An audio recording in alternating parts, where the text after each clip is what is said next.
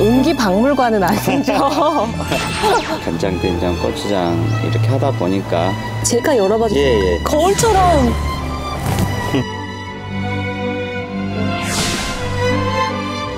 얘를 먹어도 될까요? 그냥 흐물흐물한 게 아니고 새빨갛죠?